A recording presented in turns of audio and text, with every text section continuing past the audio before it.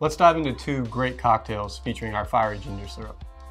First up is the new modern classic, the penicillin. This drink starts with a half ounce of our fiery ginger syrup. The next ingredient is a honey syrup sweetened two to one. Just dilute any good honey with water to create your own honey syrup. For the base spirit, we're gonna do a good quality blended scotch, one and a half ounces. The last ingredient to shake in this penicillin cocktail is fresh lemon juice. Add a three quarter ounce of freshly squeezed lemon juice. We're gonna shake all this with ice hard for about 20 seconds.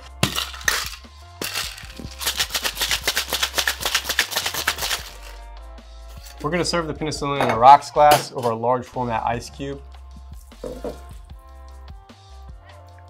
Once the drink is served in the glass, we're gonna finish it by adding about a quarter ounce of a good quality single malt Scotch whiskey.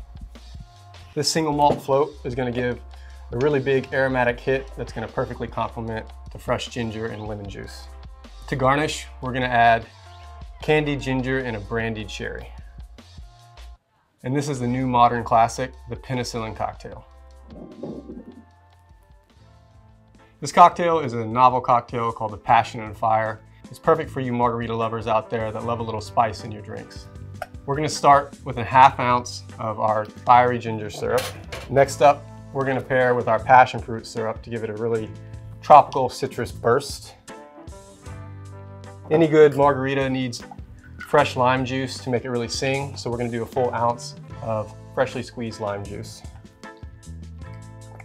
A high quality 100% agave tequila is the way to go for any margarita, and we're gonna use a premium selection here. For the Passion and Fire cocktail, we're gonna shake hard with fresh ice.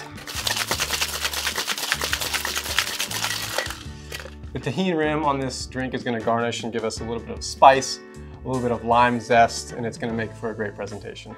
To do that, we're gonna take a fresh lime wedge, run it around the edge of the glass,